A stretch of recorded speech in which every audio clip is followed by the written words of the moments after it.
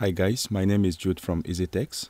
In this video, we're going to see how to repair a broken hard drive with beeping or clicking sounds in order to recover back the stored data and possibly continue to use it again.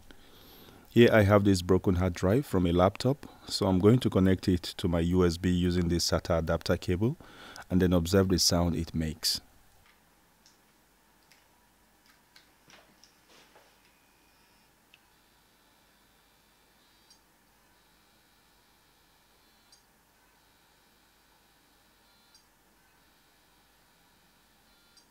In this situation, there are usually chances that your disk head has gotten stuck on the platter, so you need to manually relieve it in order to get it working again. Now, this process is definitely a last resort. Please ensure you've tried other possible fixes like checking that your connectors are properly hooked up, checking power supply, and other software fixes you might find. And if you decide to try the fix in this video, then it's up to you to ensure you don't cause any damage to your disk or data.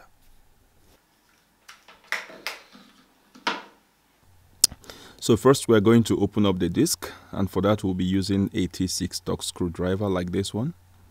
Now while unscrewing you should be careful not to cause any damage to the cover or the platter because the platter is located just beneath the cover. You might need a bit of research to locate all the screws on your cover because some of the screws are usually hidden underneath the label.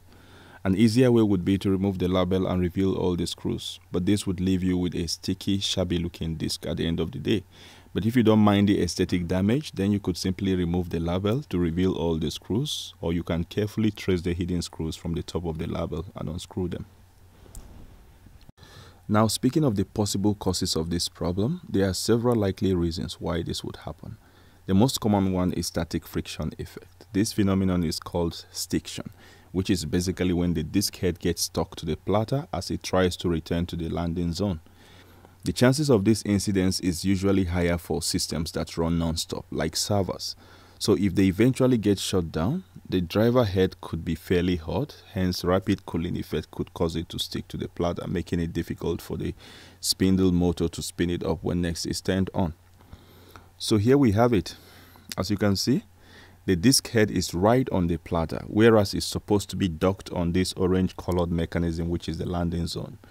So now we need to manually get it off the platter. And to do that, we'll be using the same torx screwdriver and locate a screw right in the middle of the platter. Now by turning this screw clockwise, it should spin the platter and gently push the disk head to the landing zone.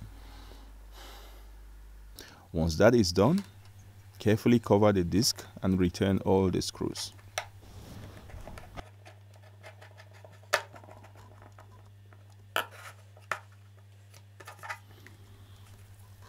Now connect your hard drive to your PC and see if it works again.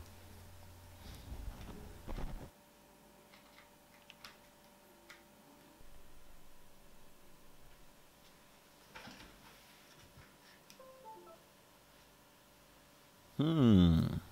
Luckily we have it running again.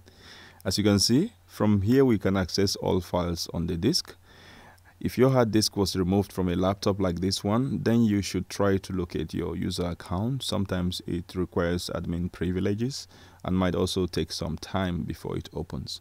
But when it eventually opens, then you can access all your files and data.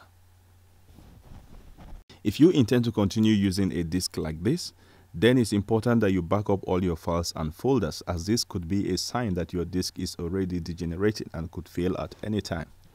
And that completes the session. If you have any questions regarding the procedures in this video, please post in the comment section below and I'll get back to you as soon as possible.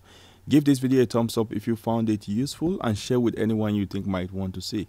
And if you like tech related videos like this one, then consider subscribing to my channel and turning on notification for update on future videos. Thanks for watching and see you again soon.